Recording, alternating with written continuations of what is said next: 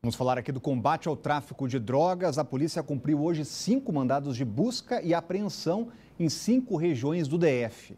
No núcleo Bandeirante foi encontrada até uma estufa caseira para o cultivo da maconha.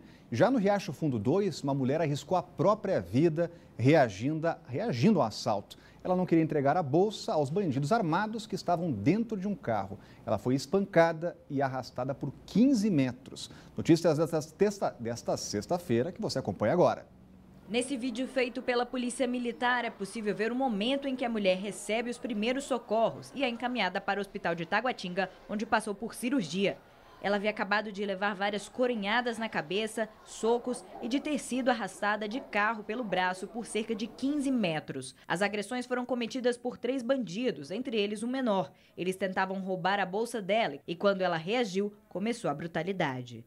Mas os criminosos foram presos logo depois. Eles estavam em um carro roubado no Recanto das Emas. Eles também estavam com uma arma e drogas. O crime cometido contra a mulher foi por volta das 4 horas da tarde. A jovem não teve nome e idade revelados. Já nesta manhã de sexta-feira, a polícia deflagrou a operação de combate ao tráfico de drogas. Foram cumpridos cinco mandados de busca e apreensão nas cidades de Sobradinho, Guaraú e 2, Parkway e Núcleo Bandeirante. E foi nessa última região que os agentes encontraram uma estufa caseira para o cultivo de maconha. A quantidade de drogas apreendidas ainda não foi divulgada. a intolerância é o foco do quinto e último episódio da série Religiões. Nos últimos três anos, o Disque 100 recebeu cerca de 1.500 relatos de discriminação religiosa. No DF, é comum ver cenas de vandalismo e depredação de lugares considerados sagrados. Nós mostramos aqui, ao longo da semana, que a fé é a marca, é marcada pela diversidade. Só que a diferença nem sempre é respeitada. Veja só.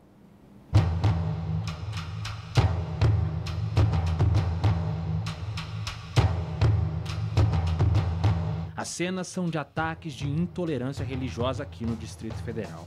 Nos últimos anos, centros de umbanda, candomblé, espírita, prainha e até imagens da Igreja Católica foram alvos de vandalismo. Os fiéis lamentam casos como esses e pedem mais amor e respeito entre todas as crenças. Eu acho isso o cúmulo do absurdo, porque Deus nos deu livre-arbítrio, né? Nós temos a escolha de seguir a religião é, é, a, a qual nós achamos mais viável antes de religião, antes de acreditar na, na, palavra dos homens, a gente tem que acreditar no respeito, no amor, pregar sempre o amor ao próximo. Mesmo que cada religião tenha a sua opinião e a sua visão, eu acho que a gente tem ainda um Deus que a, passa a mesma mensagem para todos, que é o amor. Então, isso é uma coisa muito do homem, de diferenciar, de de querer impor algumas, algumas coisas que causam essa confusão. Então é muito ruim, não é legal. Mesmo com todos os pedidos de amor ao próximo, o número de casos de intolerância religiosa ainda preocupa. De acordo com dados do Ministério dos Direitos Humanos, de janeiro de 2015 até o primeiro semestre de 2017, a cada 15 horas, uma denúncia foi feita. Nesse mesmo período, o Disque 100 recebeu cerca de 1.500 relatos de discriminação religiosa. Durante a nossa peregrinação para conhecer um pouco mais sobre algumas religiões presentes aqui no DF, ouvimos diversos relatos sobre discriminação, preconceito e intolerância. O bispo auxiliar de Brasília criticou esses atos. Veja a destruição, por exemplo, do, de lugares de, de religiões afro, é, a destruição de imagens da Igreja Católica, é, isso denota uma intolerância. O bispo Rodovalho é presidente da Confederação dos Conselhos de Pastores do Brasil e relata que, apesar do grande número de fiéis e do crescimento, a igreja evangélica ainda sofre com preconceito. Ora, existe preconceito contra a igreja evangélica, sim, no Brasil, em alguns estados bem maior do que outros. Isso é mais acentuado, mas existe existe não só tabus, mas existe preconceito mesmo. Né, nunca vão entrar numa igreja evangélica, é, o evangélico só quer tirar proveito.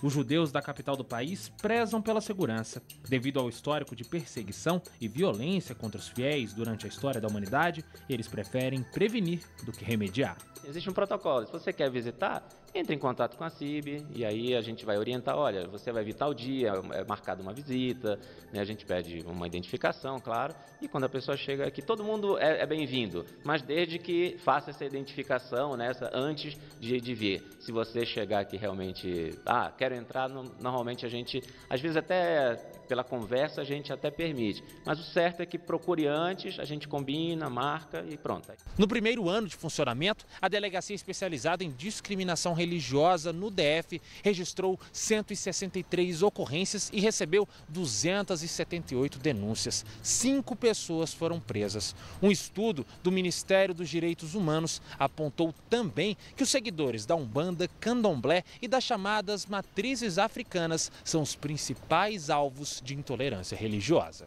É falta de conhecimento, é uma característica do ser humano também, não é? Você percebe a, o preconceito não só na religião, você percebe na cor das pessoas, você percebe outras características, não é? E na religião ocorre também isso, infelizmente.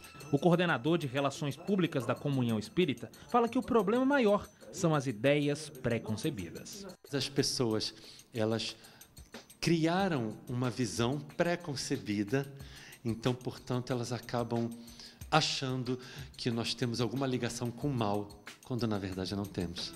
Relatos como esse ainda trazem preocupações, medos e reflexões. Mas, diante de tudo isso que vivenciamos, a solução pode estar bem aí na aproximação entre as pessoas e religiões.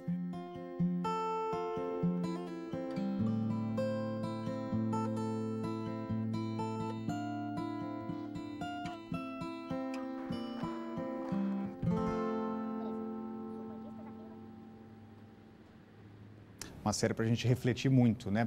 Olha, você sabe, aqui na Band tem um canal direto para fazer denúncias, mandar vídeos, mostrar os problemas aí onde você mora. É o nosso WhatsApp, então anote nosso número que é o 99972 99976 9204, eu vou repetir, 99976 9204. E o Band Cidade, primeira edição, fica por aqui. A gente volta a se encontrar na segunda-feira. Então, um bom fim de semana, um bom descanso. Aproveite o fim de semana. Tchau. Thank you.